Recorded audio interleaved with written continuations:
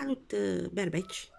Voi face citirea pentru tar, uh, tarotul pentru săptămâna 31 iulie 6 august. Uh, este o săptămână cu o piramidă de pământ începând și cu o lună plină în vărsător. Deci la ora 21.31 luna plină în vărsător. Dar și câteva aspecte, să zicem, tensionate, Mercur cu în opoziție cu Saturn retrograd, un careu uh, în T, format odată cu luna plină, uh, cu planeta focar Jupiter, veți găsi mai multe la horoscop explicate, și, bineînțeles, vom avea și un aspect uh, tensionat între Soare și frustrant între Soare și Jupiter. Uh, și va începe Venus retrogradă uh, să formeze o quadratură cu Uranus. Veți găsi toate acestea explicate la horoscop. Acum să vedem ce spun cărțile de tarot pentru berbeci. Această săptămână pentru berbeci.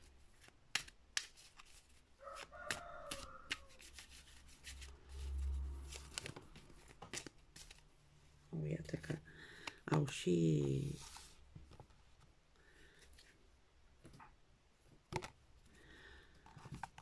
sunt cărți bune totuși. Așa. Au sărit efectiv din pachet. Încă una. Sunt cam neatentă.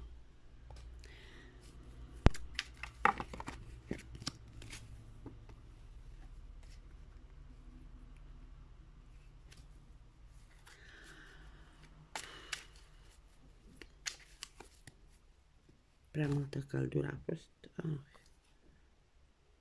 Sper că sunt neatentă, le amestec în continuare.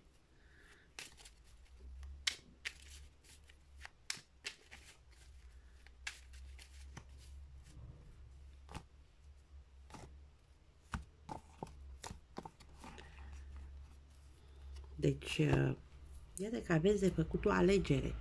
Este o alegere pe care nu puteți să o amânați.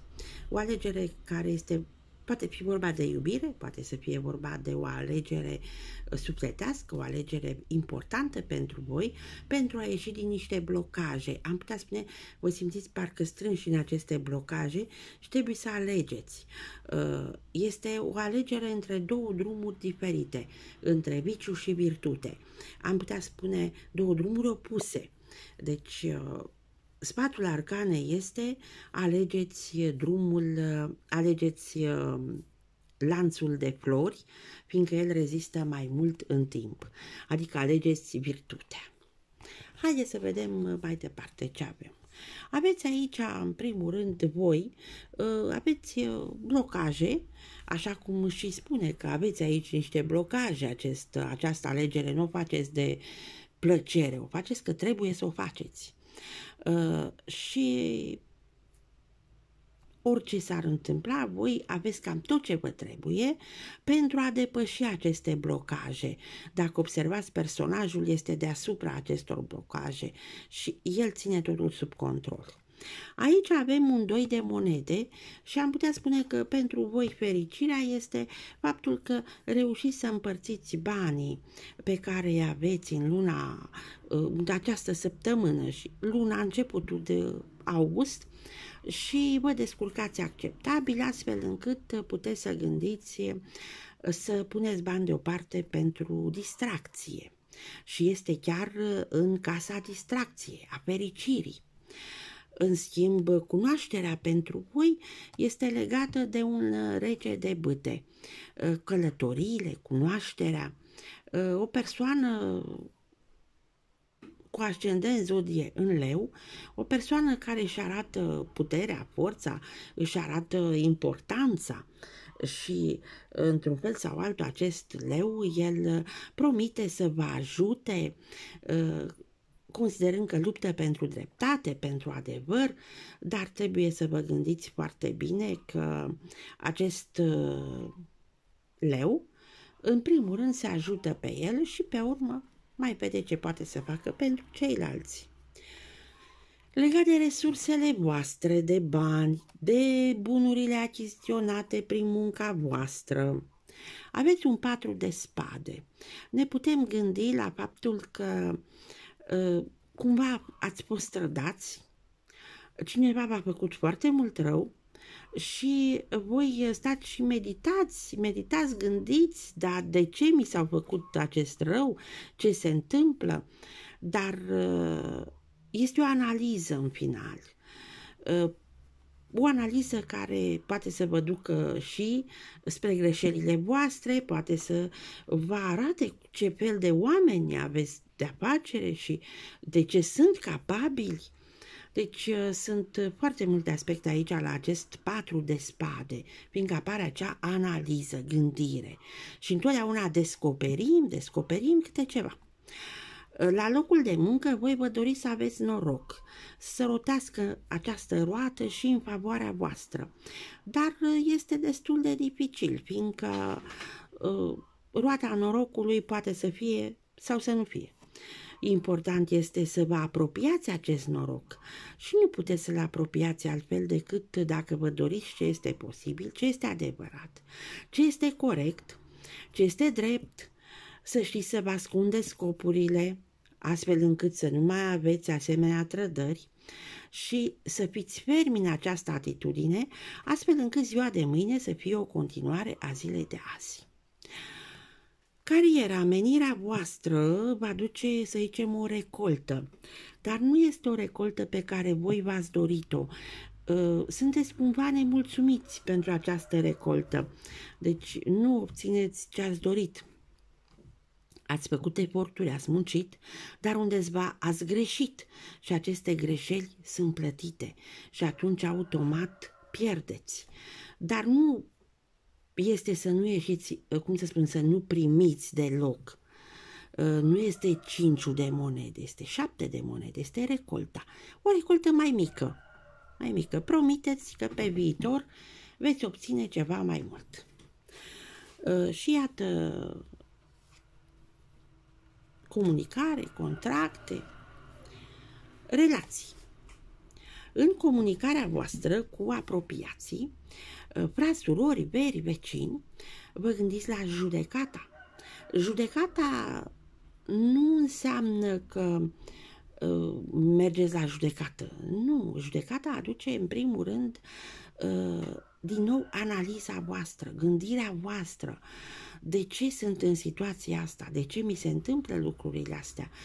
De ce în comunicarea mea nu rezolv anumite situații? Și vă dați seama că, de fapt, nu sunteți acolo unde ar trebui să fiți.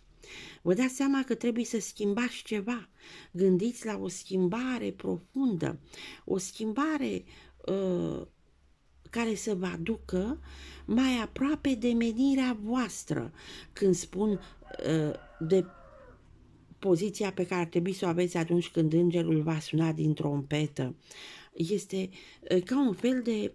Uh, adică nu vă gândiți la sfârșit sau la nu știu ce.